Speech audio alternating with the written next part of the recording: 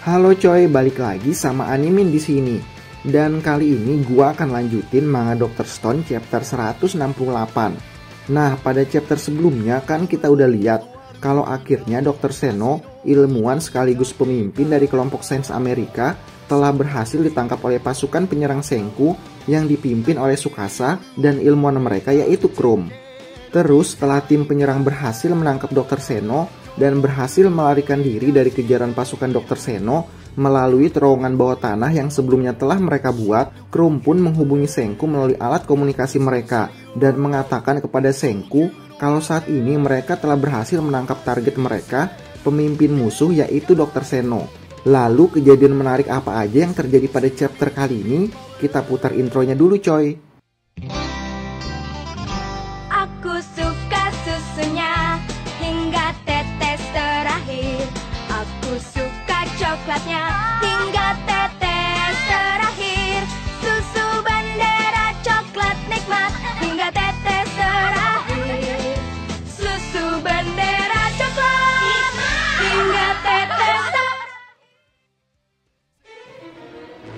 Nah, setelah kru menghubungi Sengku dan mengabarkan bahwa saat ini Dr. Seno telah berhasil ditangkap, karena mereka menggunakan alat komunikasi dengan menggunakan sinyal radio, maka selain Sengku, pasukan Dr. Seno yang saat ini sudah mengambil alih kapal Perseus juga bisa menerima pesan yang disampaikan krum tersebut. Tapi pasukan Dr. Seno sama sekali nggak bisa mengerti pesan yang udah disampaikan oleh Krum kepada Senku tersebut. Bukan karena pesan tersebut dikirim dengan sandi Uesugi seperti sebelumnya. Bahkan pesan kali ini disampaikan oleh Krum dengan sangat jelas, namun menggunakan bahasa Jepang. Tapi karena pasukan Dr. Seno nggak ngerti bahasa Jepang selain Dr. Seno sendiri, maka meskipun pesan tersebut berhasil diterima oleh pasukan Dr. Seno, mereka sama sekali nggak memahami maksud pesan tersebut. Nah, kita balik dulu ke kapal Perseus coy untuk lihat keadaan di sana. Setelah berhasil mengambil alih kapal Perseus, Max, salah seorang pengikut Luna, akhirnya berani untuk menaiki kapal Perseus setelah sebelumnya hanya berada di dalam hutan untuk mengawasi Luna yang berada di atas kapal Perseus bersama dengan kelompok Senku. Tapi setelah Max berhasil naik ke atas kapal Perseus, Max terkejut karena melihat Luna malah terikat tali di atas kapal. Nah, sambil kebingungan, Max pun melepaskan ikatan Luna Terus Luna pun membisikkan sesuatu kepada Max yang membuat Max sangat terkejut dan besar kemungkinan sesuatu yang dibisikkan oleh Luna kepada Max tersebut adalah tentang hubungannya dengan Senku yang kini telah berpacaran. Nah, setelah mendengar kalau ternyata kini Luna sudah mempunyai seorang pacar, meskipun terlihat sedih, Max pun menanyakan kepada Luna siapa saja orang yang Luna butuhkan untuk menyelamatkan pacar barunya tersebut.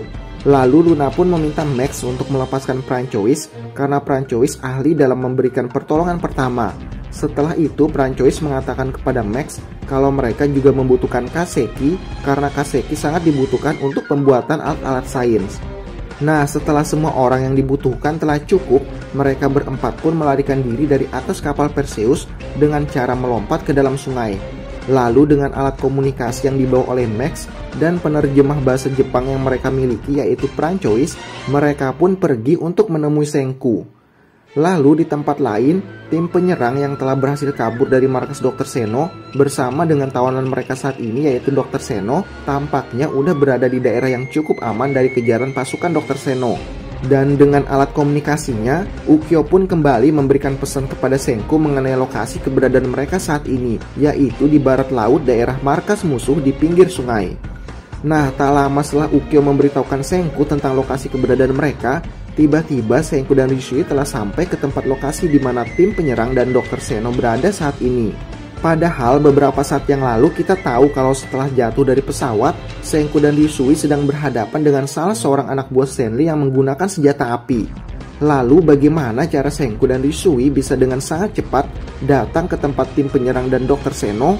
Kalau di chapter ini sih nggak dibahas dan nggak ada sedikit pun clue tentang bagaimana cara Senku dan Risui bisa berhasil kabur dari anak buah Stanley setelah jatuh dari pesawat. Tapi kalau kenapa Senku dan Ryusui bisa dengan cepat datang ke tempat tim penyerang dan Dokter Seno, kemungkinan besar karena pesawat yang sebelumnya digunakan oleh Senku dan Rishui tersebut jatuh nggak jauh dari tempat tim penyerang saat ini berada sehingga membuat Senku dan Rishui bisa sampai dengan cepat. Dan ini juga merupakan pertemuan pertama Senku dan Dr. Seno setelah ribuan tahun lamanya semenjak pembatuan yang terjadi di bumi. Nah, dalam pertemuannya dengan Dr. Seno tersebut, Sengku mengatakan kalau kita harus segera bergerak sebelum matahari terbenam. Dr. Seno yang bingung pun bertanya kepada Sengku ke mana mereka akan pergi. Karena menurut Dr. Seno, Sengku sama sekali sudah nggak punya tempat untuk kembali. Karena markas Sengku yaitu kapal induk Perseus dan orang-orangnya telah berhasil dikalahkan dan diambil alih oleh Stanley. Nah, karena Sengku dan yang lainnya saat ini sudah tidak mempunyai tempat untuk kembali, maka seperti kata Risui, berarti tidak ada pilihan lain selain mereka semua harus tetap maju untuk melanjutkan misi mereka, yaitu untuk mencari bahan-bahan yang diperlukan untuk membuat roket. Nah, terus nggak lama setelah itu, tiba-tiba ada suara yang mendekat ke arah mereka, yang mana ternyata suara tersebut berasal dari pergerakan Luna, Max, Francois, dan Kaseki yang berhasil melarikan diri dari kapal dan bertemu dengan Sengku dan yang lainnya. Terus saking senangnya bisa melihat kondisi Sengku yang baik-baik aja dan bisa kembali bertemu dengan Sengku, Luna pun membayangkan dalam kepalanya kalau Sengku datang menghampirinya terus mengucapkan sesuatu yang indah kepada Luna. Tetapi karena Luna mulai mengerti sifat dan karakter Sengku, ia pun langsung menghapus hayalannya karena berpikir kalau Sengku nggak akan mungkin mengatakan tepat seperti apa yang barusan ia bayangkan.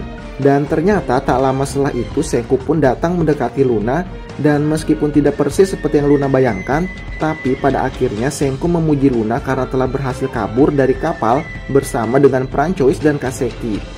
Lalu setelah kedatangan tim Luna, maka nggak ada alasan untuk Senku untuk tidak melangkah maju dan pergi ke tempat selanjutnya untuk melanjutkan misi mereka dalam mengumpulkan bahan-bahan untuk membuat roket karena saat ini Sengku memiliki semua anggota yang diperlukannya untuk tetap maju. Terus bukannya misi pertama mereka untuk mencari jagung Yellowden di Amerika belum berhasil? Gimana caranya Sengku dan yang lainnya bisa lanjut ke misi berikutnya? Nah ini dia bagian menarik dari rencana yang akan Sengku lakukan. Setelah semua anggota yang diperlukan Sengku telah berkumpul, Sengku dan yang lainnya pun kembali pergi menyerang ke markas Dr. Seno untuk mengambil kapal milik Dr. Seno sebagai alat transportasi mereka untuk pergi ke tempat selanjutnya.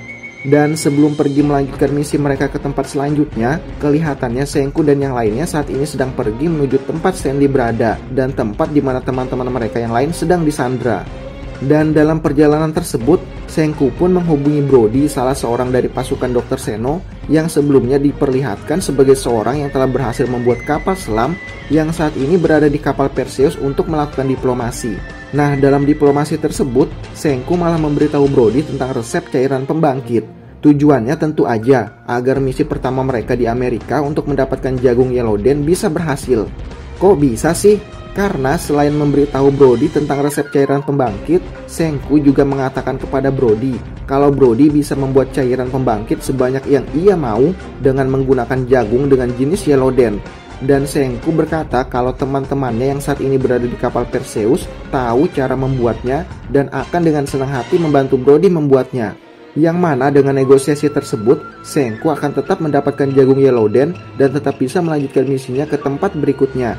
Selain itu, bisa dipastikan juga kalau teman-teman Sengku yang saat ini sedang disandra oleh pasukan Dr. Seno akan tetap aman. Karena perkataan Sengku sebelumnya tentang resep cairan pembangkit yang juga diketahui oleh teman-temannya. Lalu dengan pesan terakhir di chapter ini melalui alat komunikasi yang juga didengar oleh teman-teman Sengku yang saat ini berada di atas kapal Perseus, Sengku memberikan pesan terakhirnya kepada mereka untuk membangun kota jagung besar dan untuk membangkitkan satu juta orang. Dan setelah mendengar pesan Sengku tersebut, anggota kelompok Sengku yang masih berada di kapal Perseus pun terlihat sangat bersemangat dan percaya kepada Sengku.